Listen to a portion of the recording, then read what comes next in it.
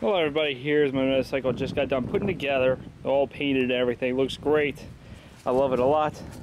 The whole theme matches. It's really different. Looks, I'm just so happy with it. All but one thing. And the one thing is that side cover right there. I fucked up big time with it. I ordered uh, another side cover basically. It's going to cut, two of them are coming, they're both chrome.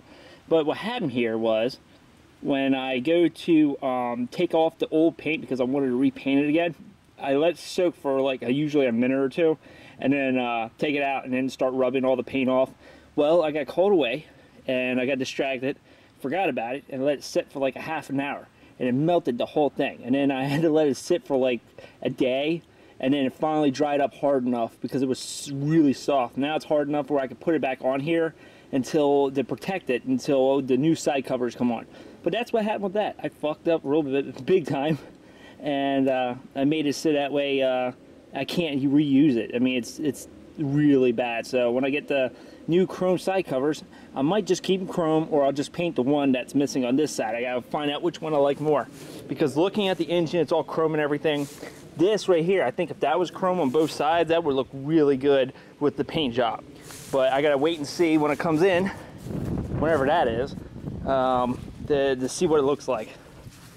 So I might paint the one side like this side or leave it chrome. I'm trying to decide. I don't know. Thinking, looking at it right now, chrome might be really, really great because of the engine and exhaust and everything. Every, it might really set it off or I'll paint it like that. So I'll probably just see what happens and just go with it.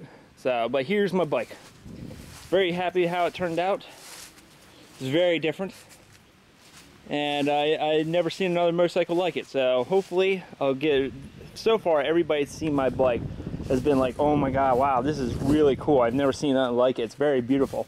And uh, I got a lot of great responses off of it. It's something that not too many people have ever seen. So uh, yeah, it's definitely different. I, um, I still got a lot of work to do and everything on it. So it's just, I'm getting by with it right now. I'm happy with it, but it's a never-ending project, it seems like. So I'm constantly working on it, doing little upgrades here and there. And but so far, I'm really happy with it. I'm glad I got this bike, and I'm glad I'm doing something completely different that nobody else has ever done.